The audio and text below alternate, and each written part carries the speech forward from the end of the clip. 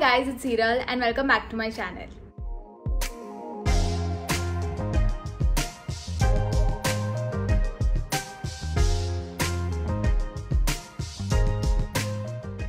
So as you guys know by the title, today's video is gonna be all about skincare. In this video, I'm gonna be sharing with you guys 5 tips that you can follow for naturally glowing skin, some homemade face mask, some more beauty tips, and day care and night care skin routine. Sure to like, share, comment and subscribe to my channel. Let's keep this the emoji of the video. So if you see this emoji, comment down this emoji. That way I'll know that you like my videos. One more thing, this video is not sponsored by any brands. So yeah, let's just dive right into the video. So let's move into 5 tips. Number 1 is sunscreen. Your skin is the largest organ of your body. So therefore, it should be your number one priority to protect it and to take care of it. Because sun rays से आपके skin पे बहुत गंदा असर हो सकता है। आपको फ़ोटो एजिंग हो सकती है आपको डार्क स्पॉट्स हो सकते हैं रिंकल्स हो सकती है and even skin cancer so it is very important कि आप जब घर से निकलो तो आप सनस्क्रीन लगा के निकलो। बहुत सारे जन ये स्टेप को अवॉइड कर देते हैं और इसे इम्पॉर्टेंस नहीं देते। But it is very important to use sunscreen on daily basis आजकल मार्केट में बहुत सारी क्रीम्स अवेलेबल है, जिसमें सनस्क्रीन एसपीएफ होता है sun protection factor so minimum 30 SPF वाली क्रीम यूज़ करो तो ज़्यादा अच्छा रहेगा। एंड आपकी स्किन टाइप के हिसाब से आप कोई भी सनस्क्रीन uh, यूज़ कर सकते हो। So the one product I want to show you guys is this V L C C sunscreen gel cream which I use on daily basis और इसमें एस पी एफ़ थर्टी है which is quite good and the best part about this cream is कि ये बिल्कुल foundation की तरह दिखता है। तो अगर आपको डे टाइम में कोई मेकअप लुक करना है या मेकअप करके जाना है किधर तो आप ये यूज़ कर सकते हो एज अ फाउंडेशन सो इसमें सनस्क्रीन आ जाता है। सो so आपको अलग सनस्क्रीन यूज़ करने की ज़रूरत नहीं है। So I show you I show you quickly कि ये कैसा दिखता है। एकदम फाउंडेशन जैसा ही होता है। सो so, काफ़ी अच्छा है।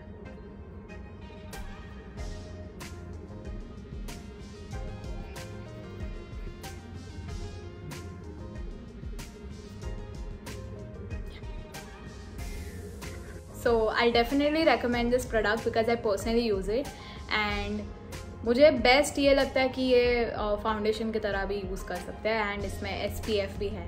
So it's the the best. Is moisturize extreme dryness और एक्सट्रीम ऑयलीनेस दोनों ही आपकी स्किन के लिए अच्छा नहीं होता। सो so, अगर आपकी स्किन ज़्यादा ऑयली भी है ना तो भी आपकी स्किन को मॉइस्चर या हाइड्रेशन की ज़रूरत होती है।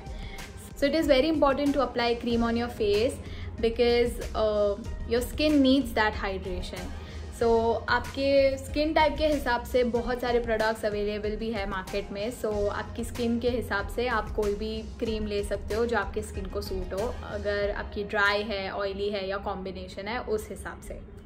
So it's important to moisturize your body as well so अगर आप मेरे जैसे हो जो अपनी स्किन को मॉइस्चराइज करना भूल जाते हो so you can do one thing is आप आपकी क्रीम्स या बॉडी लोशंस वॉशरूम में रख सकते हो। That way after taking bath आपको याद रहेगा कि आपकी स्किन को मॉइस्चराइज करना है। और अगर आप आपकी स्किन को मॉइस्चराइज नहीं करोगे तो आपकी स्किन फ्लेकी हो जाएगी।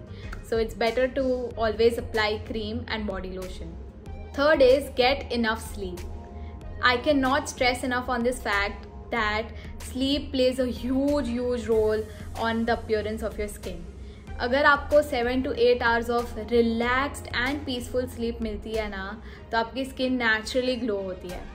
और अगर आपको डीप रिलैक्स स्लीप नहीं मिलती तो ट्राई मेडिटेशन मेडिटेशन से आपका ब्रेन काम हो जाएगा और आपको अच्छी स्लीप मिलेगी। Fourth is eat healthy so you should always eat healthy fruits and vegetables which will give your skin a natural glow so आप carrots beans lentils oranges lemons berries ये सब खा सकते हो। सो so, ज़्यादा green leafy vegetables खाने चाहिए। And अगर आपको वेजिटेबल्स uh, खाना पसंद नहीं है तो आप वेजिटेबल सूप्स भी पी सकते हो। बिकॉज़ फ्रूट्स एंड वेजिटेबल्स में एंटी होते हैं जो सेल्यूलर डैमेज को प्रिवेंट करते हैं।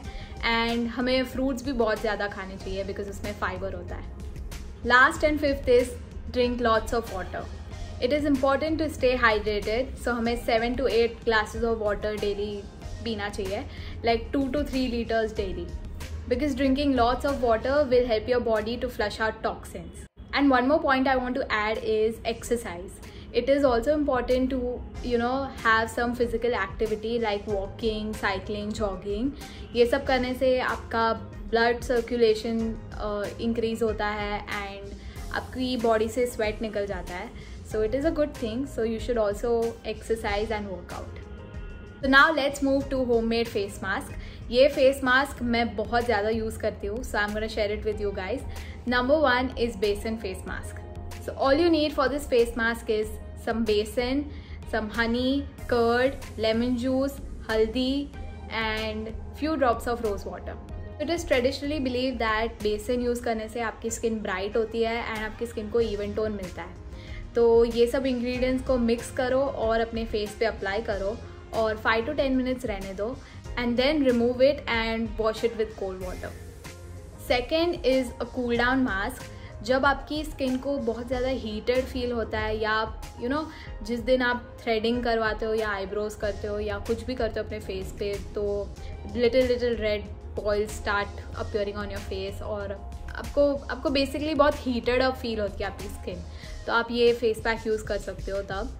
So for that you need cucumber tulsi leaves aloe vera ये सबको ग्राइंड कर दो और थोड़ा रोज़ वाटर मिक्स कर दो और अपने स्किन पे अप्लाई कर दो and leave it for five to ten minutes और उसके बाद आपकी स्किन को बहुत अच्छा फ्रेश लगेगा और आपकी स्किन ज़्यादा कूल हो जाएगी कूल डाउन हो जाएगी।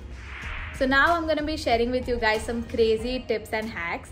First one is for puffy eyes so कई बार क्या होता है जब हम सुबह उठते हैं तो हमारी आइज़ बहुत पफ़ी लगती है और बैग लगती है नीचे से। सो so, उसके लिए आप क्या कर सकते हो आप क्यूकुम्बर ले सकते हो स्लाइसेस में काट के आप uh, अपनी आँखों पे फाइव टू टेन मिनट्स रख सकते हो। उससे आपकी पफीनेस कम हो जाती है।